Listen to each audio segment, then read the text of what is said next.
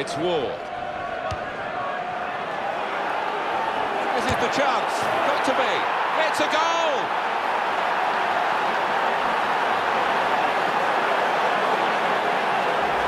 And he's just decided to hit this one hard and hit it straight.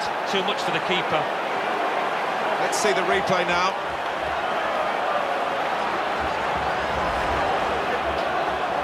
Just to recap